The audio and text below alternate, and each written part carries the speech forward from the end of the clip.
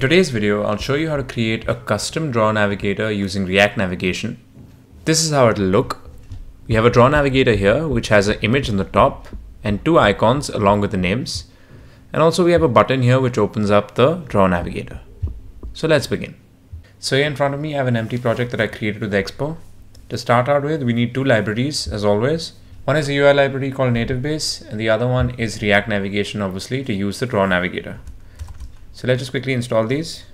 So open up your favorite terminal. I'm going to use the one in Visual Studio Code. Here type in npm install React Navigation and then type in npm install NativeBase. I'm not going to be installing both of these because they're already installed in my application. Once they both are installed, we're good to go.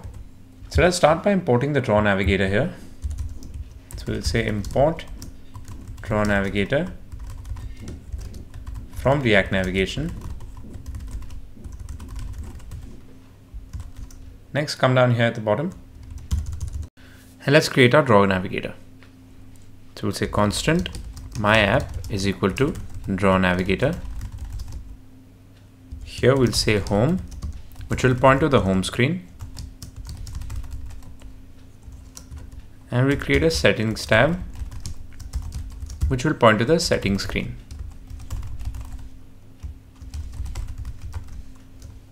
So let's first create these two screens.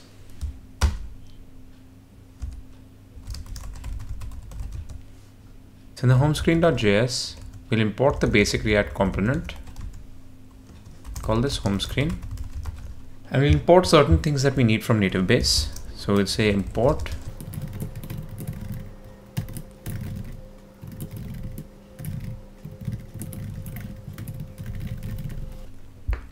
Once you've got these things imported, let's come here into the render method, get rid of that, and we'll put in here a container, which is similar to a view. Inside that, we'll put in a content, and here we'll just create a text and call it home screen.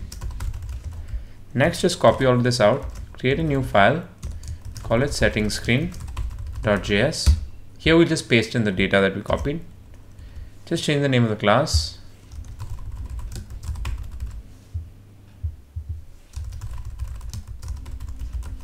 And here we'll change this to settings screen. Now we have our two files ready. Let's import them in here in the app.js. So we'll say import home screen from home screen and import settings screen from settings. Now if we refresh this, if we slide from the left, we have our draw navigator and obviously the text is going outside. We can just correct that. So here we'll just add some uh, styles to the content in native base to add styles to the content, you need to add a content container style instead of just a style. The content is similar to a view. So here we just put in flex one, align items center and justify content center. And we just copy this into our settings screen. And just refresh this. So there we see the home screen is there in the middle. You can open up the draw navigator, click on settings, takes us to the settings screen. So our draw navigator is working. Now it's time to start customizing our draw navigator. First, we'll put in a header into our screens, which has a button on the left to open the draw navigator. So come here to the top inside the container. We'll put in something known as a header. As you may remember, we've imported header on the top here from native base. Inside the header, we'll put this element called left, and inside that we'll put in an icon. Name of the icon will be iOS menu. And on press, what it will do is, it'll open up the draw navigator. So we'll say on press equal to this dot props dot navigation dot navigate and we'll call drawer open. Let's just close out the sidebar and then let's just copy this into our home screen as well.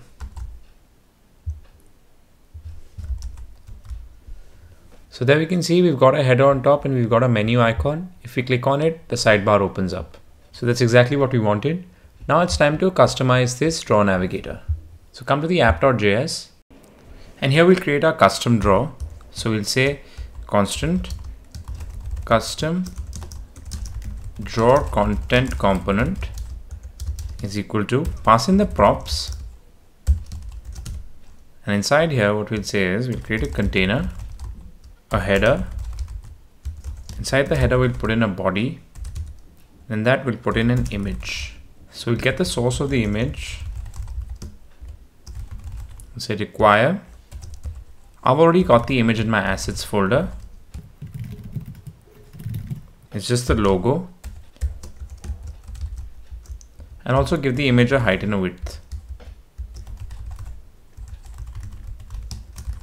so we'll put in a style saying styles.draw image. Just need single brackets. And we'll create these here at the bottom. So at the bottom here we'll say draw image. We'll just say height. We say height of 150 in width of 150 and a border radius as well of 75 so that it becomes round.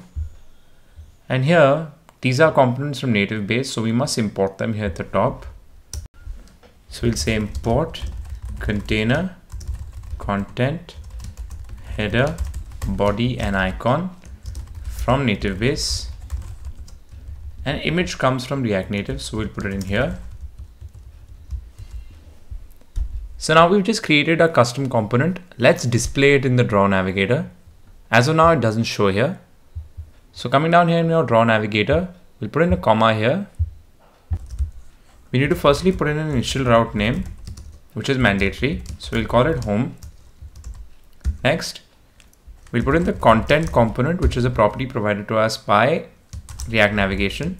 And in that, we'll put in our custom draw component. And then we need three other properties, which I'm just going to paste in here, which are also mandatory. So they are draw open route, close route, and toggle route, which point to the particular methods which are already available in React Navigation. But when you're customizing the draw navigator, you must put them in here. So let's save this out now. And we see we get an error here because I made a very basic mistake and that is with the brackets. These should be rounded brackets and not curly brackets. That's why nothing is being returned to us. So let's save that again. And now if we open this up, we see that we're getting the image, but obviously it's not inside the header. That's because we just need to put in another style to our header. So let's say style equal to, just put in the height here only. So it's a height of 200. So now if we open it, we'll see there we've got a header, which is a height of 200. It's got an image inside it, but our drawer items are missing. So let's just put in our drawer items here. So React Navigation provides us with a simple method to put it in. We just put in another content and inside that we just need to put something known as drawer items. And there we just spread in the props. That is, it'll bring out all the items that are there in the list and display them. But make sure to import drawer items here from React Navigation. So let's say drawer items. Now if we save that out, we see we're getting our items here and we're getting an image here. We can also change the background color of the drawer to white. And now all we need to do is put in the icons for the list items. So let's do that. Come to the home screen. Here we'll configure the navigation options. So it says static navigation options is equal to inside that we'll set the drawer icon, pass in the image of the icon that we want to show so it's a source equal to require the asset from assets folder also give it a style. Height of 24 width of 24 because that fits in perfectly. And this needs two brackets. And if we save that out let's see if that works. I need to import in the image here as well. And as you can see, we've got a home icon here. The same thing we'll do for the settings screen. We'll just copy this, go to the settings screen, paste it in here. That icon is called settings. And here import in image, save that out. And there you can see we've got our custom header with our custom images with our drawer items. There are a lot of more configurations that you can do with your drawer navigator. But now you must have understood that all you need to basically do is configure the drawer navigator just like any other page. And all you need to pass in is the drawer items to show them.